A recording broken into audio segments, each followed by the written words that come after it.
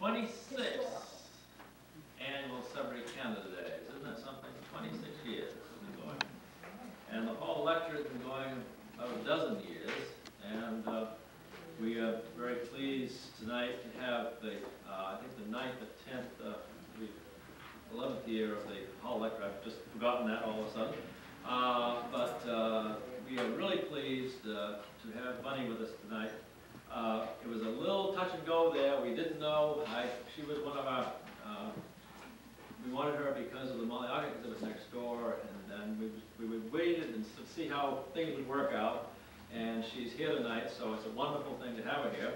And it was, we held up fingers and we crossed and did all the right things, I guess, to get you here, so, uh, and we're delighted, uh, because certainly, uh, of anybody we get had with a Molly Ockett exhibit, you're probably the one that we wanted most, uh, in addition to your husband, he'd come too. I mean, uh, Harold has been here, her husband's been here, quite a few years ago now, and uh, he- we enjoyed the, uh, him very much, and I'm sure you'll enjoy her very much. Uh, I'm not going to go into a lot of detail about her background, because there's quite a resume here, and uh, I hope you've all read it in the newspaper, because it was in there several times, or on our website, so, uh, so not to save time, so you- I know you're here to listen to her, not to me. But uh, I'm delighted to have her here, and she's been a longtime friend of the society.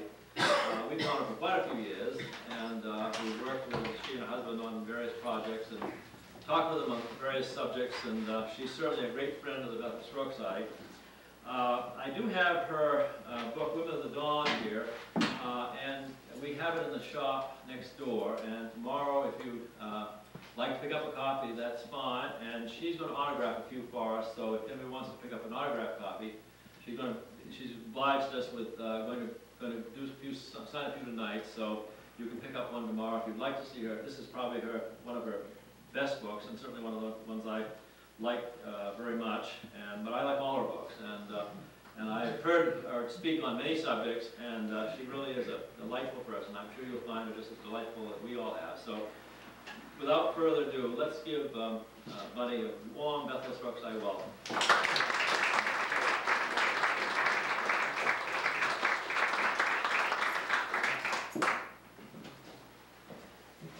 I'm so happy to be here, and I'm here um, not only for the pleasure of the uh, company, of people like Stan and Randy and some folks I met over dinner tonight, um, but also I finally had the privilege of meeting Kathy Nolan, who for me was the starting point for working on Molly Ockett, and it's just amazing how much material um, she put together in that little booklet. It's really been the backbone of anybody who wants to do any writing or research about Molly Ockett.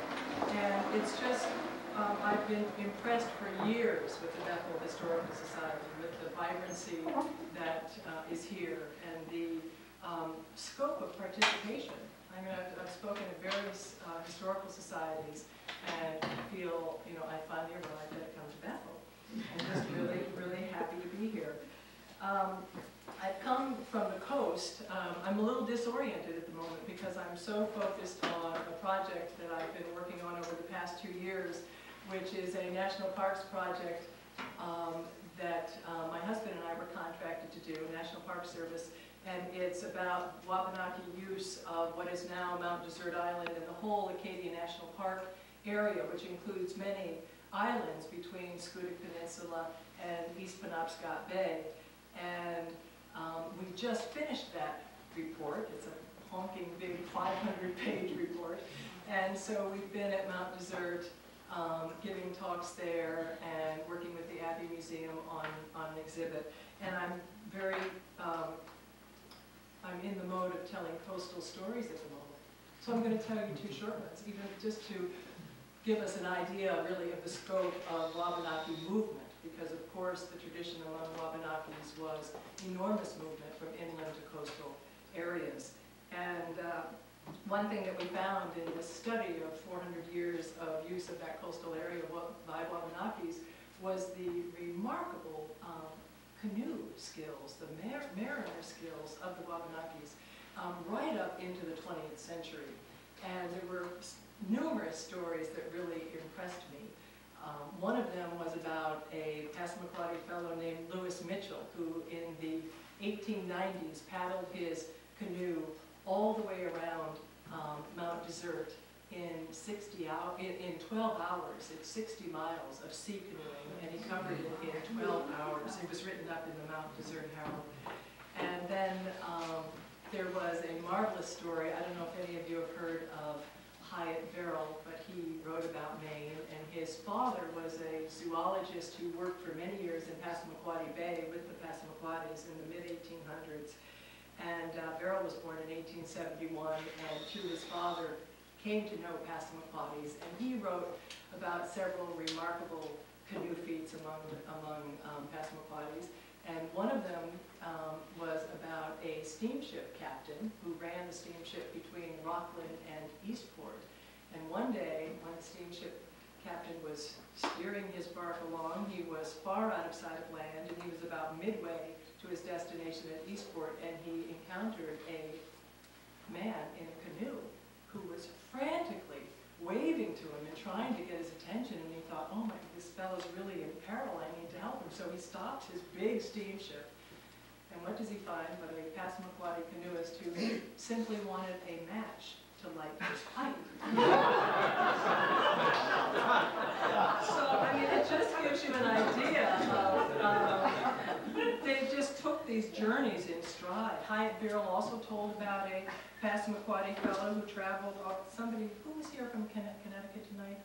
Was it, oh, you're, yeah, Carol and Walter, Walter from Connecticut. Um, Well, Hyatt Verrill also told about how a uh, Passamaquoddy friend of his father traveled all the way from Eastport to Bridgeport, Connecticut by canoe just to say hi to his dad. And and really thought, thought nothing of the journey, of the journey. So, um, but as remarkable as these canoe feats are, what I've be- been beginning to discover is the remarkable healing traditions among Wabanakis, including your native daughter here, Molly Ockett, who, um, who was on the um, Doctor's Trail for, for many years. And for me, this is a subject that's really just beginning to open up. I wrote about Ockett and her healing work. Um, but for the National Parks Project, one of the tasks, of course, the park is especially interested in is the traditional uses of flora and fauna, and including for medicinal purposes. So that became part of our report, and it really um, has grabbed my interest. And what you're going to hear tonight is really um, kind of early thoughts on it. Um, I've, I've just written a grant to try to do a, a bigger project on, in particular, Native women healers in this area over time. And one thing we've seen is, you know, the, if you read the works of early European observers of this area, they were very impressed with the, um, they made particular note of the general health um, and the absence among the, of the native peoples here of many of the diseases that were so common in Europe. However, Wabanakis were not without suffering, and they had a variety of ailments. Um, among them, they, they wrestled with uh, rheumatism, they wrestled with all kinds of respiratory problems. Of course, there were um, wounds and scrapes and bruises um, born from the outdoor life that they lived. And um, they had different ways of treating these illnesses. The illnesses that had a clear physical cause warranted treatment in some form of herbal medicines um, that were prepared and administered both by men and by women. Uh, but the illnesses that had no apparent physical cause were viewed as supernatural, as brought on by, um, by sorcerers, spirits of the dead, or some other kind of unearthly force. And these were considered more serious, and they called for some sort of shamanic intervention, which usually also included herbal treatments along with shaman actions. More often than not, the shamans traditionally were men uh, rather than women, and they were individuals who were recon recognized by the community as having something called Mifflin, pronounced in various ways by the different Wabanaki groups, but or magic.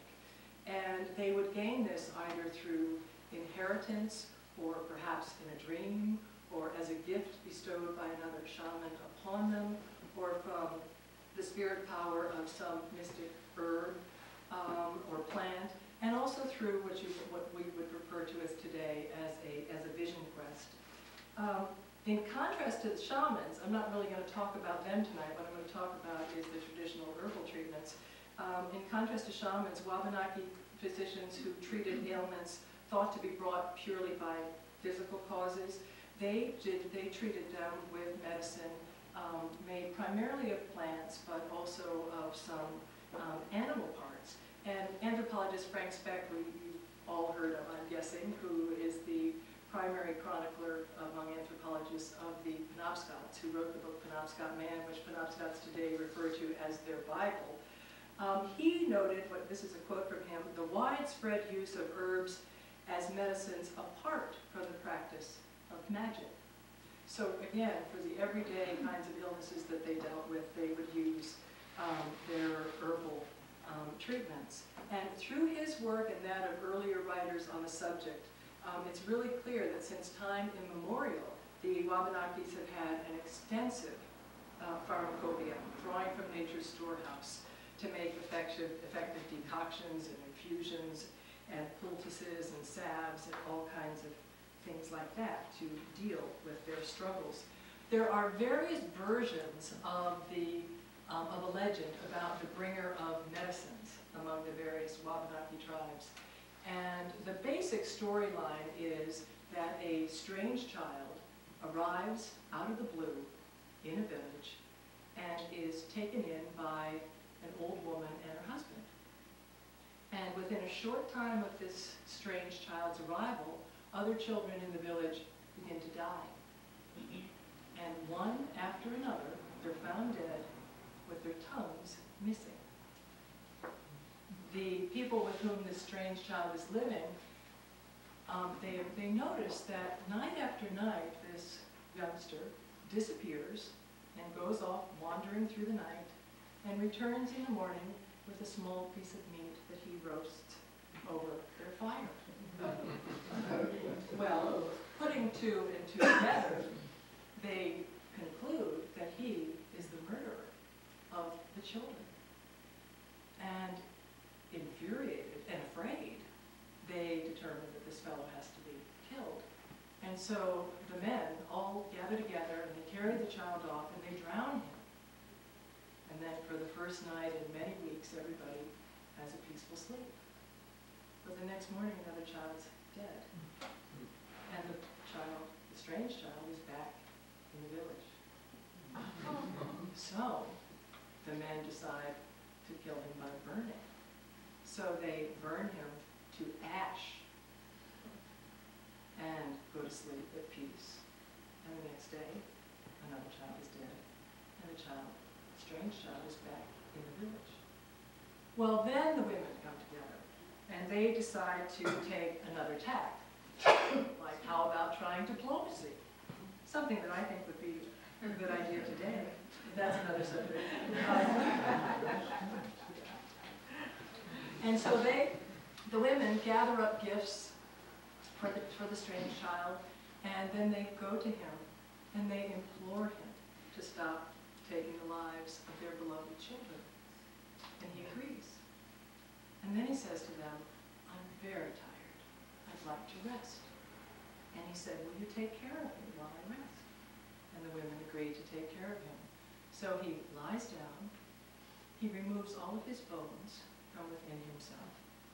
And he takes a long rest, and the women care for him month after month into several years.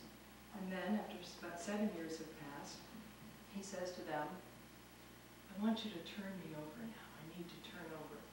So the women roll him over, and underneath where his body is laid, they find plants. And he says, these are medicines for your wellness. And then the women take the medicines, they take up the plants, they give them names, and they determine what use each of these plants will have. Several more years go by, and he says, roll me over again. And they roll him over again, and there's more medicines. And once again, they, they look at each one, they give them a name, and they determine what they'll be used to treat. And, um, and that, in a, in a nutshell, is the legend about the story of, a story of medicines the bringer of medicines. Sometimes he's referred to as turnover because he was turned over, and other times he's referred to as bone handler because he took the bones out of his body um, in order to rest. There are all kinds of indicators of the really important role that women played in traditional Wabanaki healing practices. Um, another example appears in a book called The Life and Traditions of the Red Man.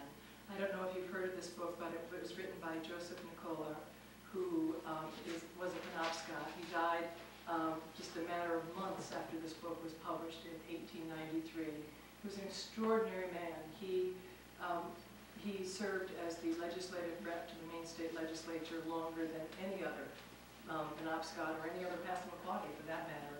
And interestingly enough, um, his grandson, well, this is a story for after, I'll tell you about it, it's not really part of this talk, but his grandson is still alive and um, living on Indian Island in his 80s now, after many years of living in Europe.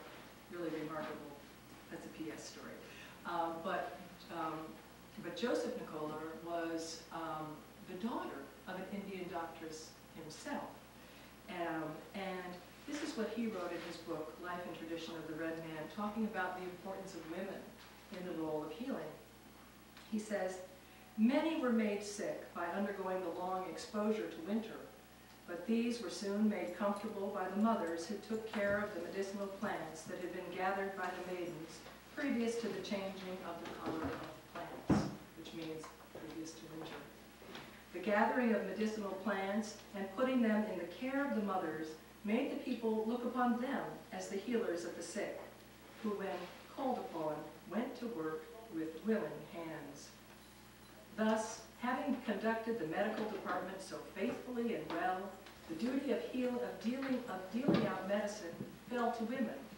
Therefore, there was no man doctor among them for a time. This arrangement continued until the coming of the white man. To deal out medicine to the sick was looked upon as below the sphere of man. Surgical profession was not known and the practice of surgery was not needed because those who dealt out medicine were able to heal all kinds of diseases. Bones and flesh were healed alike. Men's minds were entirely absorbed in the art of spiritual works. Well, then he talks about the coming of the, the white man, of the contact period, and what happened during the contact era, in a, in a nutshell, was that Wabanaki faith and shamanism really suffered due to missionization, and also due to the failure of shamans to cure the uh, diseases that were brought um, over by Europeans, which as I think um, probably most of you historians, historically minded people have heard, took the lives of between 75 to 90 percent of the Wabanaki peoples in the early 1600s. It was a devastating Holocaust. I've often thought when I, my family is gathered around the Thanksgiving table, and we're not a very big family, there's usually just about 10 of us, but I've thought if we had suffered that kind of Holocaust, I would be there by myself, or my sister would be there by myself, or herself, or my father. I mean, nine out of every 10 people is just un, unfathomable. And anyway, gradually the Wabanakis began, um, came to rely more extensively on the expert, expert herbalists among them when it came to treating the long familiar diseases as well as new illnesses that did come um, more and more with the Europeans who arrived. Um, because there's the new Molly Ockett exhibit here, and because I have a special interest in Molly Ockett, and I know some of you do as well, I thought I would read um, just one excerpt from Women of the Dawn that talks about um, her healing work. And I think um, all of you may know that Molly um, belonged to the Pigwackets, which was a group of Wabanakis who were based in the Saco River area near Fryeburg originally. And at age four, she was taken hostage uh, by the English during the height of the Anglo-French battle over Wabanaki lands. And then after five years in Tell me if I get this wrong, will you, Kathy? After, after five years in Massachusetts, where she learned the language and some of the customs of her captors, she was finally returned to her family in Maine. And there she rediscovered the Pigwacket ways, including the traditional medicinal practices that really permanently tied her to the natural world. And later in life, the kind of multicultural training that Molly Ockett had had while she was a captive, it really helped her to survive in the strange new world that had come to surround her and her people as they suffered land loss and, um, and um, great loss of their loved ones and their relatives, and as many left the area, and a few left Molly Ockett. hung on and stayed. And having watched so many of her people die um, from diseases and warfare, she became an itinerant um, doctor for surviving Wabanakis, as well as for growing number of people in the white community, uh, communities in Maine. And she, like many Wabanakis of the day, she would camp on the outskirts of town and live a marginal existence, um, um, dealing with her selling crafts and also offering up her skills as a healer. And Bethel, of course, was one of the places where she spent time, as well as in Fryeburg and Andover and in Paris as well. And she was called into the homes of settlers during their times of greatest vulnerability. And um, this, this excerpt just gives you a little feel of how um, it might have been for her. Molly Ockett's self-assured and lively personality, along with practical skills and the cultural insight she had gained while exiled in Boston as a girl, won her a relatively secure place on the margins of the white community. Camping for months at a time near Fryeburg and other towns in the region, she offered various services in exchange for food and assorted necessities. She fashioned the sturdy baskets and birch bark containers that settlers needed for storage and for harvest. She hunted ducks and from the pluckings made feather beds. She gathered wild fruits and nuts for food. Most important of all, she collected medicinal plants for healing. Unlike the pioneer, pioneers who were new to the region, Ockett knew the healing properties of the roots, barks, berries, and herbs growing in Wabanaki country and she knew how to transform them into effective potions, salves, and poultices. Although reluctant to entrust themselves to an Indian, frontier folk often found that Ockett was their only source of help. They may have missed the irony of this, but Ockett did not. The individuals asking her to cure them were related to the very people who had earned bounties for killing and scalping her relatives and friends. The descendants of those who brought epidemics to her people now asked her to heal them of diseases. How could she, who had lost so much, respond to a call for help from those who had done so much taking? Focused on survival, Ockett had little space for contemplating the dilemma of revenge versus forgiveness. She was a pragmatist and understood that doctoring provided a means of supporting herself and her daughter. Yet, there were times when human suffering worked on her heart, and she could not help seeing her common humanity even with those who had attacked her people. Grace overcame her at those moments, as it did when she attended and cured the wife of John, John Evans, a former scalp hunter. Molly Ockett's familiarity with nature's medicine chest gave her entry into the homes of settlers during their most vulnerable times of illness and despair. Sometimes, as she placed her hand on patients' brows to measure their fever, she tried to read their minds with her fingertips. She sensed their anxiety. As in her own community of survivors, the labor of every family member was vital in hard-scrabble pioneer life. These whites were not a lazy lot thought Molly, but they were amazingly They pursued their own liberty while trampling her heritage and freedom, as well as that of every other Wabanaki. To weather their presence, Molly Ockett knew she had to be shrewd and self-assured. She held on tightly to these qualities, determined that she would not be a small bead on someone else's dress.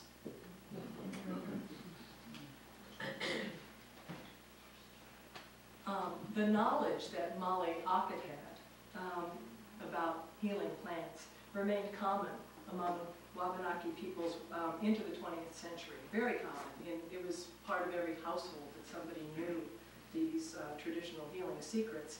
Um, Frank Speck, writing in the early 1900s, commented, quote, that an almost inexhaustible fund of knowledge exists on the subject. That's in the early 1900s um, in the native communities. Um, beyond the mundane use of traditional medicine in most Wabanaki households, by the end, by the mid-1800s, a significant number of Wabanaki women were following in the footsteps of Molly Ockett, and men as well, and had come to the fore as professional herbal practitioners, um, very much like Molly Ockett. Um, and they were treating not only one another, not only people in their communities, but also people in the white communities, certainly until um, white community, a doctor would arrive, a white doctor would arrive in the communities. Um, with the exception of Molly Ockett, and this is kind of an amazing thing, I think, they have disappeared from the collective um, memory. But as I've been digging around, I found that there are all kinds of historic records about these early healers, and many were very well known in their day. Um, for instance, there's this, this is one of many examples, in an uh, 1833 Maine newspaper, um, there was a story about a woman titled Mary, an Indian doctress of the Penobscot tribe. And it, pictured, it featured a picture of a, um, a line drawing of a woman with a, a blanket around her and a peaked cap, and she was, she was smoking a pipe. And it described her as, quote, a grave doctress, well skilled in roots, herbs, and human nature. In their medical practice, Penobscots, of course, have no grave discrimination of diseases, but they seldom do harm, and sometimes much good. Compelled by necessity to resort to the vegetable kingdom for their supplies of medicine, they have ascertained the properties of many vegetables before unknown, and which might be advantageously used by doctors of a higher grade. Faith, however, is a valuable auxiliary to. I find this so interesting. You know, I mean, as I'm researching this, when I look at the whole mind-body connection that many people are fascinated with today, and um, I, I, just had an experience, I'm going to give a little aside here that makes me think of, of Native American practices. Um, I have a friend who has a back problem who has been has now found a new physical therapist he goes to. He wanted my husband to go with him to meet the physical therapist because the physical therapist is Dutch and my husband is Dutch.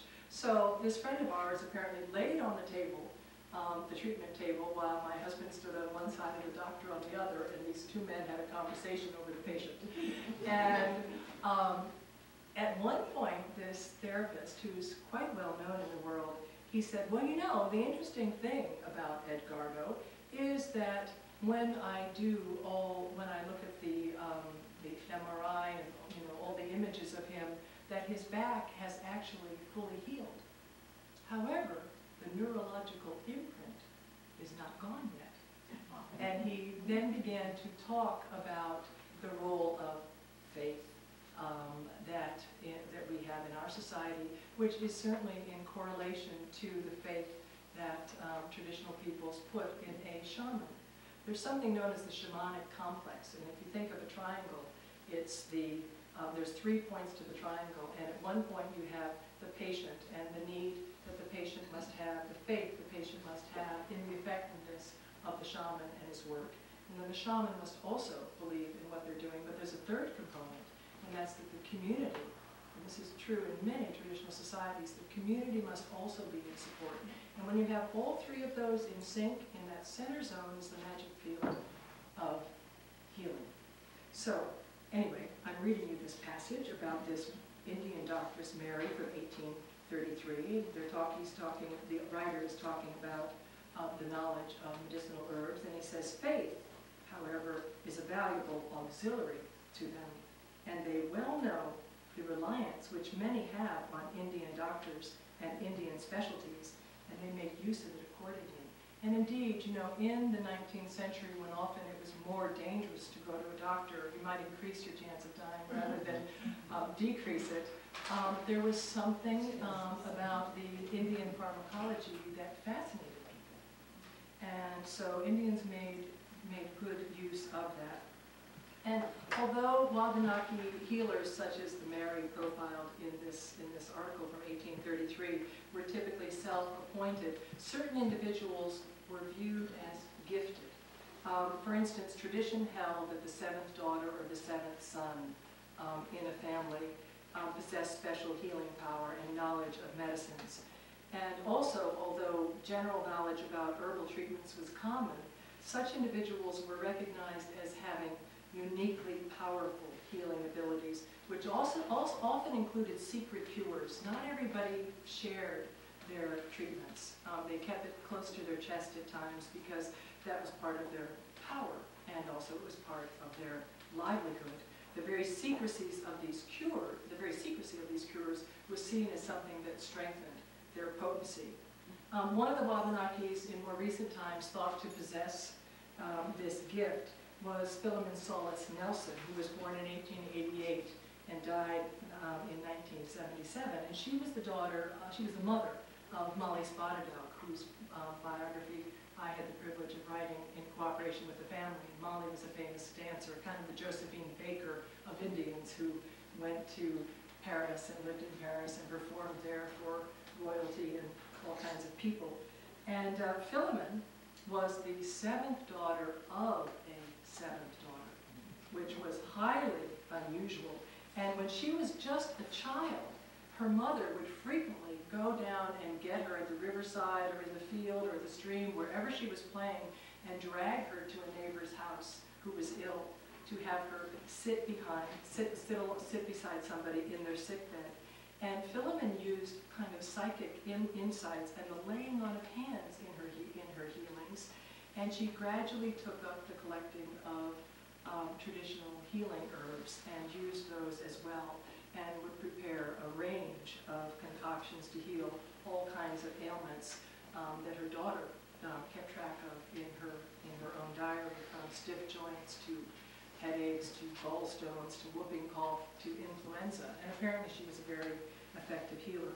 And well before Philemon's death, uh, birth in, remember in 1888, when I look at the Indian agent reports, um, they show all kinds of Wabanaki Indian doctors um, and show that they're using not only traditional herbs, but also mainstream herbs, uh, mainstream treatments of the day. Uh, for instance, a Penobscot agent report in 1848 records, um, quote, list of payments made to various white doctors covering a range of medicinal aids for members of the tribe. Sweet oil, camphor, liniment, salt and senna, and various alcohols, brandy, gin, wine. Also, plasters, Richardson's bitters, and, um, and pills and bought of medicine. And uh, in addition, Indian um, doctors also appear on agents' books as being paid for treating fellow tribal members during a smallpox epidemic, during a flu epidemic.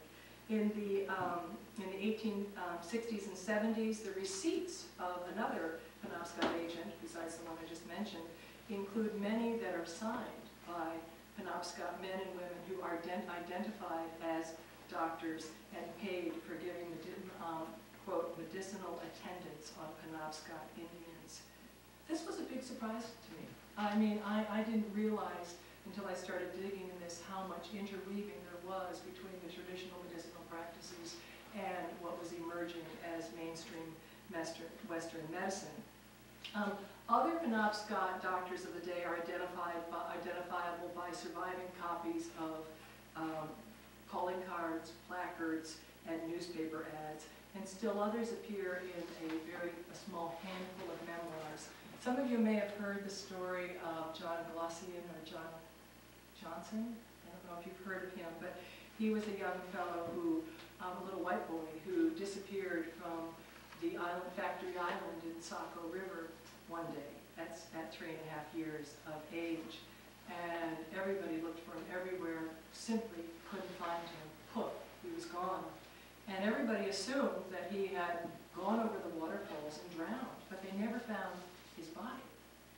And his family looked high and low. His mother died ultimately of a broken heart, and um, they simply could not find him. And 25 years after he disappeared, um, a group of Penobscot Indians, the Newell family, um, were camped on the outskirts of Saco, right near where this little boy had disappeared. And uh, among them was John Johnson, now known as John Glossian. And his wife was an Indian doctress named Zodi or Susan Newell. And um, he and his wife, as many did during that time, this was in the late 1850s, they went into town to have placards printed up to say, the Indians are in town selling baskets and practicing medicine. Come to the tent behind the, um, the railway station. Um, And so um, he goes to have the placards printed, and his wife goes to trade some baskets for some groceries at the local store.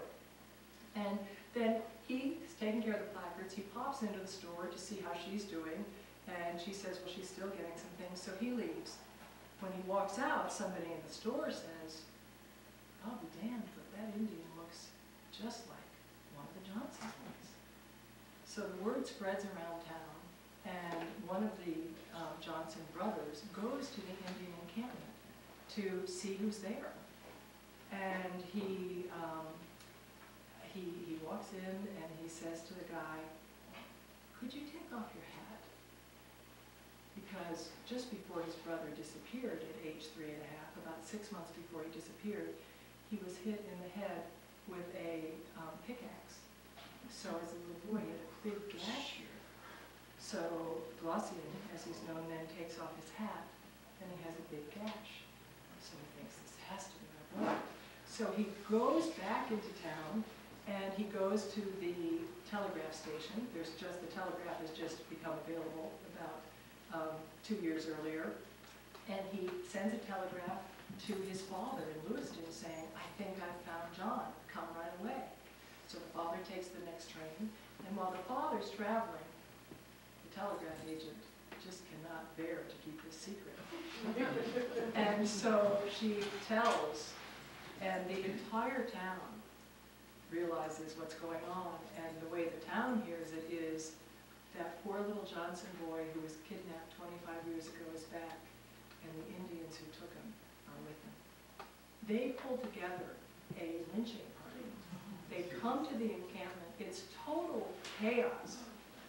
And by the time the father arrives with one of his other sons and with his daughter, they, they come into the encampment and they say they would like to see this young man.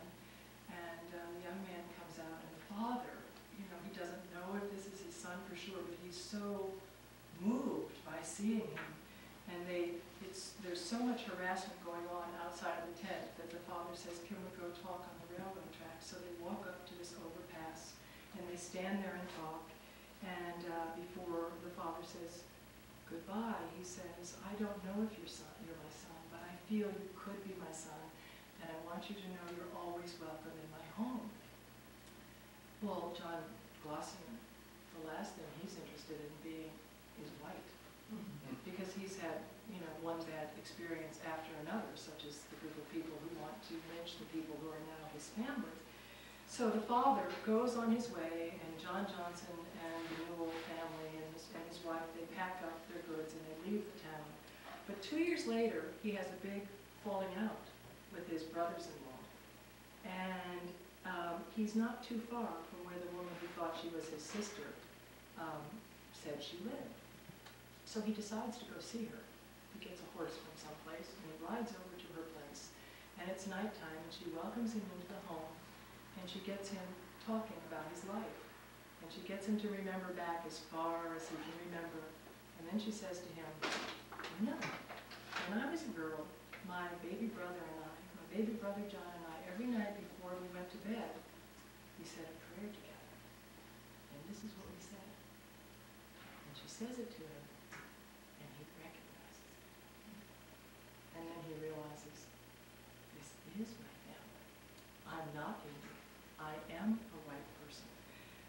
So the rest of his life is spent sorting out this dilemma of where does he belong. But meanwhile, he has been deeply involved in the um, Wabanaki traditional healing practices with his wife's family, and ultimately um, you know, goes into the Kickapoo Indian Medicine Show, and in the end, he ends up being the kind of Wild West character at those Indian, at those Kickapoo Indian medicine shows. He also goes back and lives for a time with his father and studies um, for several months um, the um, white medicinal practice and puts it all together. But the point here is a lot was going on in terms of Wabanaki um, medicinal practice during this time, and a lot of hybridization was happening, and it was just a, not only was it a time of, um, you know, extraordinary range and um, chemicalization in a way going on in the medicinal, in the, in the medicinal field in general, um, but also in Indian country. Um, that I came across um, when doing some research, I'm actually working with my husband on a book about John Johnson and have um, met his, was his, his uh, grandson is now dead, but I did extensive interviews with his grandson when he was in his 90s. He's the 90s. He's the only person I've ever interviewed when I sat next to him on his bed in the rest home where he lived. And he sat there like this in his slippers with his hands folded. And I would ask him a question and he would start to talk. And just fall asleep. And it was so wonderful because I could, then I could look at his hands and his face and I could write down what I was seeing. And it, it was giving me an idea of what his grandfather looked like.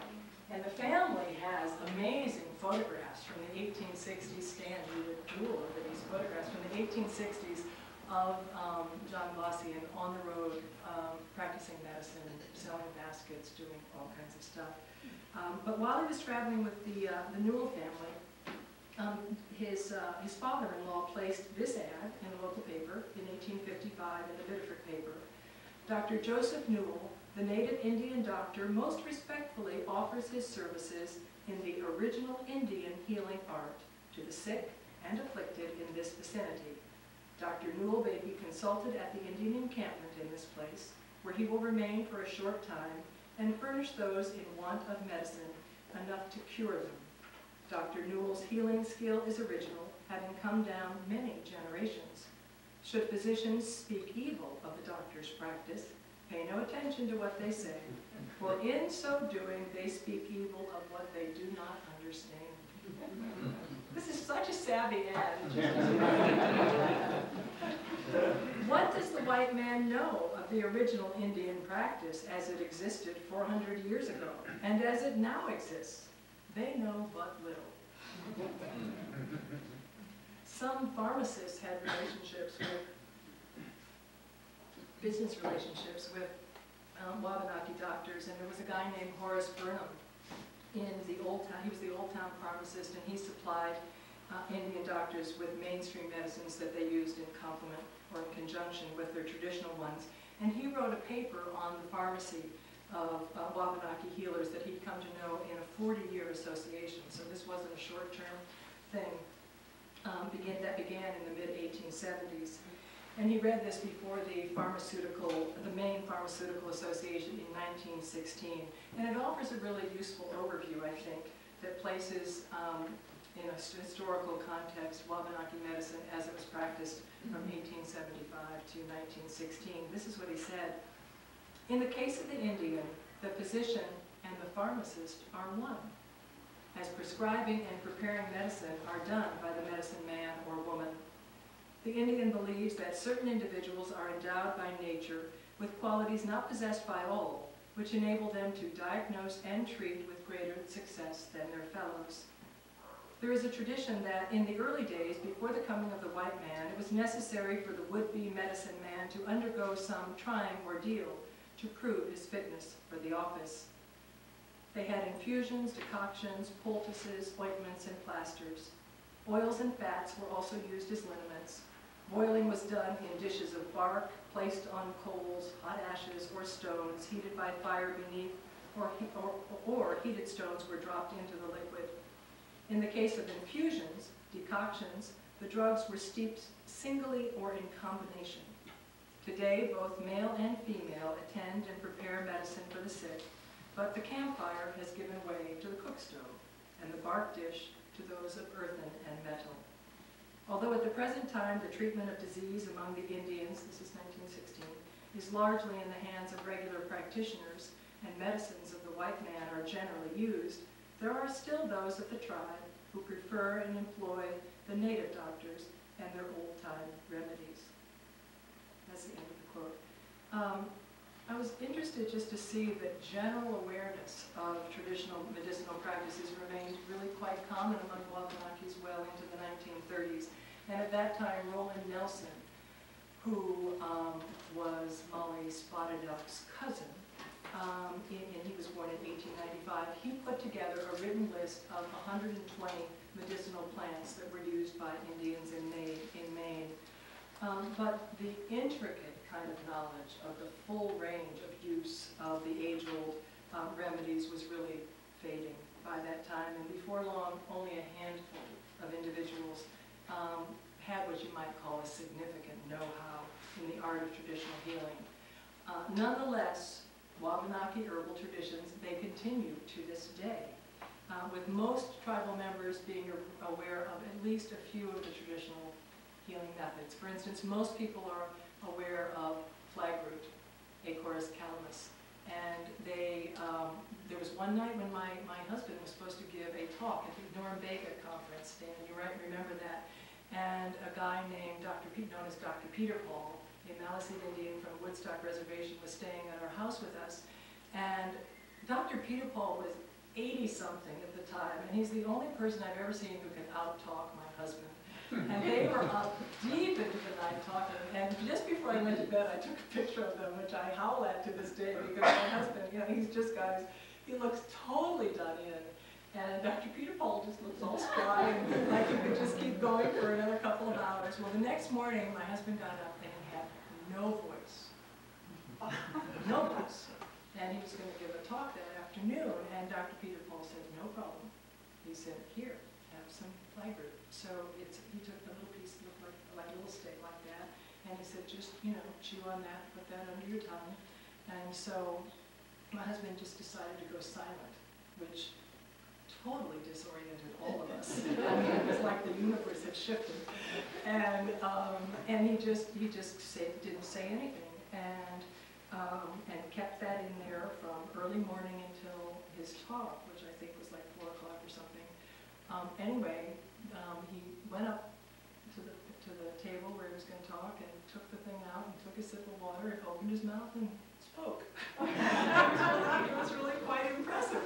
Uh, but anyway, you know, all, all Wabanakis know about a few of the basic traditional herbs, including flagroot, which was used for, you know, coughs and colds, and, and kind of as a, as a general, for general, um, well-being. And, um, and now we see, again, an emergence of real interest in traditional healing methods and a handful of individuals who are really beginning to practice it again. One of them is a Passamaquoddy herbalist named Fred Paul, who I met a couple, for the first time a couple of years ago. And he, he's about my age, and he began this effort of uh, learning these traditional herbs as a boy. And he gained all of his foundational information and training from his grandmother, Grace Louie. And um, I did an oral history with him, and this is what he said.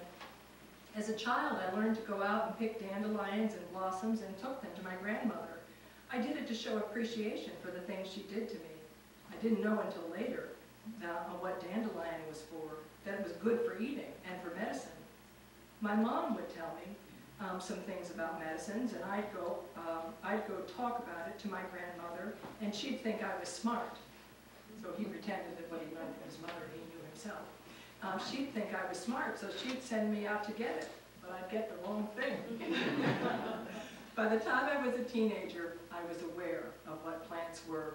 When people weren't well, I'd say, oh, you have this problem. My grandmother says that what you need is such and such to heal that. And they'd say, well, then go get it.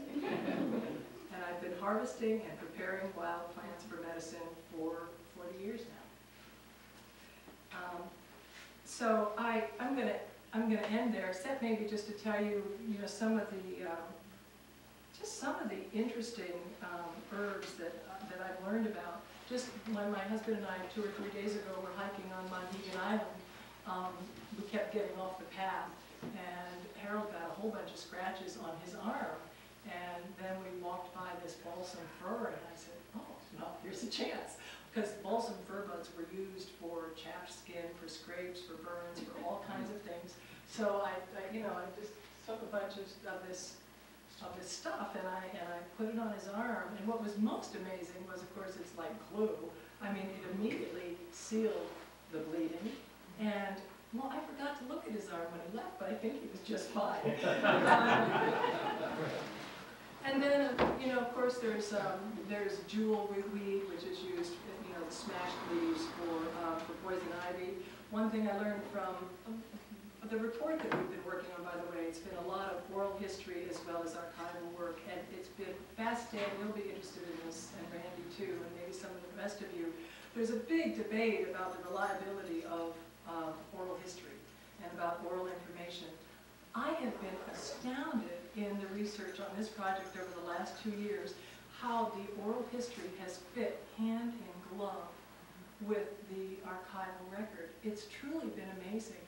And the oral history has helped to direct our digging and sent us in places we wouldn't have looked otherwise. It's really been remarkable. Um, there, in, in looking at the various um, sources about traditional Wabanaki medicines, um, white pine is mentioned, but without any detail. And when I was talking to Fred Paul, whose quote I just read you, he said, oh, he says, white pine is my favorite medicine he said you take the, you take the inner bark and you scrape it all out, and then you boil it until it's really a soft mush, and then you mix it with some kind of animal grease, and it's just, it's a salad. And I did, it, we did an inventory for the park of 125 medicines 125 plants that are located there that were used for medicines. And the list under white pine, ultimately in the end, was about that long. It was a big list that took me by surprise. In addition, some fauna are were used, and eel skins were used, for instance, for wrapping um, sprains or if you had a headache. And it's an interesting question of whether that was more of a psychological power or whether that actually had uh, some healing dimension to it. Another one I found particularly fascinating was beaver castors, which is beaver testicles. And they would take a little piece of beaver testicle and on a little stick and stick it up your nose which isn't something I'd like to do. But that was that was that was used for inflammation and congestion, and um, and yeah. And another thing that uh, that they that was in the record was that they would use skunk grease rubbed on the scalp to promote hair growth. now, you know, it takes some real gumption. Anybody who can, you know, go get a skunk and do that, I think they could, just the act of doing that would make the hair grow. anyway, that's, that's all I'm going to say tonight. If anybody has any questions or comments, or I'd be glad to respond. Yeah, I have a question about the project you've been working on, Mhm. on the Mount Desert Island. Mhm. Uh, When will that be published and available for people to read? Um, it's gonna come out in several forms. First, it'll just be a bound report, and I think the park is gonna print about hundred and fifty copies, and it'll go to certain people, and then it'll go to various libraries. And then, um, then we're gonna do an exhibit at the, probably several exhibits at the Abbe Museum. And then, um, there's a whole chapter, we'll do a miniature version of it that will be a book, and then we'll do a book.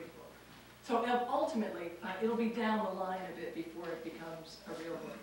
I think there's, there's a section called Wabanakis and Rusticators that's about 90 pages long during that period of the mid-1800s to the 1920s in that area, and that might come out sooner as a little book. We'll see what happens. But it's literally just finished. I think that's something a lot of people would be interested in. Well, it was really fun to do, really fun to do. Yeah, What about your PS story? what was that? Um, oh, I should, I should have written that down. Um, I forget what that was. It, it will come to me. I I said that about somebody's name earlier, and if it does, I will, I will share it with you. I didn't know. You mentioned, I think, Philmon and the laying on of hands. Yeah. Was the laying on of hands part of either the shaman or the medicinal healer's role Yeah. or? It, I mean, the, the use of hands, if you've ever seen a shaman do their work, you know, on a troubled area, like if your, if your arm, where you give me your arm, I know shamans who don't know. But there, you know, there might be, and then there's, there's, a, there's a lot of this. But the way it was described by her granddaughter was really almost in a Christian sense, a laying on of hands. And it's, you know, there was so mixy-mixy, you know, because the Wabanakis were missionized by the French and, you know, were have been devout Catholics, and so I don't know how much of that was shamanic and how much of that was Christian, and I, I don't know. It was confined to the shaman. Oh, as opposed, yes, as opposed to the herbalist, yes, that was not, not, would not have been. basically just the men who could do it. Yes, although, but not, not, there were always exceptions, there are always exceptions. And so there were women who had middle, I mean, for instance, Molly Molasses, the well-known Molly Molasses of of Penobscot fame, um, was known to have magic, and this woman, Philomena, had it. So it did come up with women, but traditionally it was primarily, vastly primarily men. At least that's what the early records say.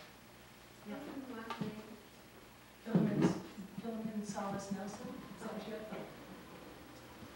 Any Other They're gonna pass the test. Uh, Let's uh, thank Mike from all the from Kansas to join us tonight. Thank you. Thank you.